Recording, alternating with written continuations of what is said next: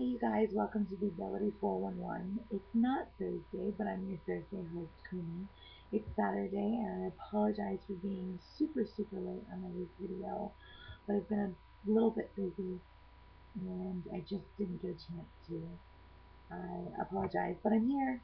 Late, but I'm here. Uh, I hope you guys great week. This week's topic uh, comes from Professor X and I think it's really good. I think it's a combination. Uh, it's a combination topic of uh, living in care facilities or assisted living centers, and also keeping positive in those kinds of situations. I've never personally had to live in a care facility or an assisted living center, but I've been in and out the hospital uh, enough to know what it's like to have to depend on strangers to take care of you. I know that sometimes people might feel, I guess, degraded or less because they can't do things on their own. And it's tough. It gets tough. It's not. It's not ever going to get easy.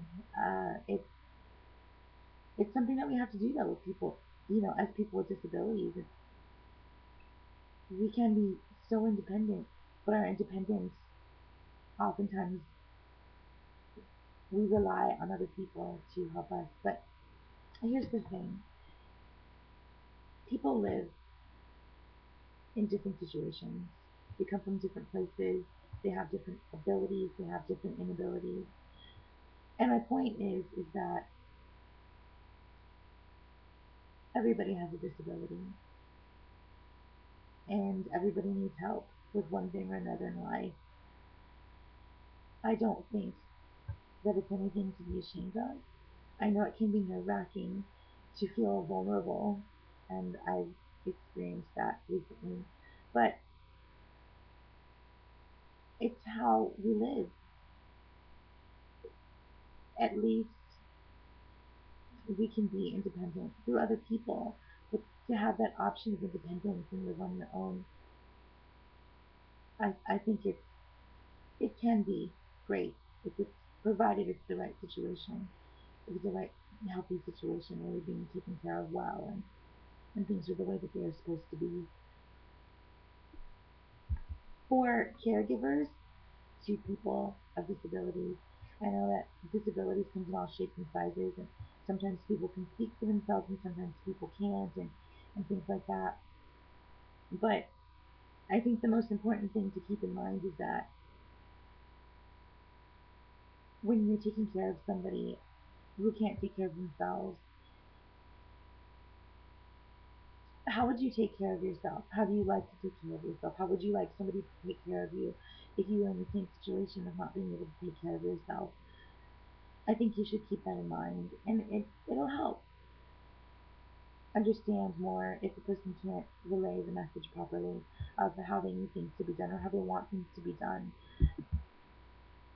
But on a whole, uh, happiness is definitely something that you have to find on your own. You have to be happy with yourself before you can expect somebody else to be happy with you. And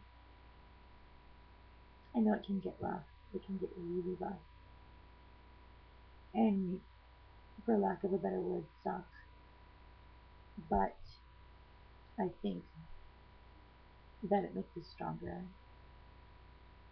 I am a God fearing girl, and I believe that His way is the only way, and this is the way that He wants me to be, this is the way I'm going to be. And I know that a lot of people might not agree with that, but this is my opinion, and um, I find happiness in knowing that I'm doing what I'm supposed to be doing, what He wants me to do with my life, and it makes me happy. And in turn, I feel like I'm blessed with such amazing caregivers every day, from family to friends. I'm super blessed, and I hope that you all are too. And you know, if you're not in a situation that's not healthy or abusive, uh, whether it's in a care facility or someone that you know, I I really think that you should reach out and tell someone. Nobody deserves to live that way. In, in any situation. So that's my take on this week's topic. But I hope that you guys are happy and that you're on your way to happiness, that you find happiness. And just remember, attitude is everything. I think Erica said that in her in her vlog earlier this week, and I totally agree with her.